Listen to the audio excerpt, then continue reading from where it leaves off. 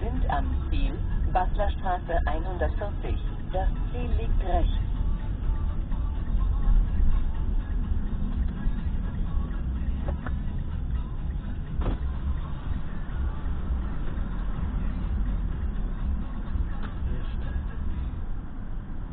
Was heisst dort Personal, der Kleine?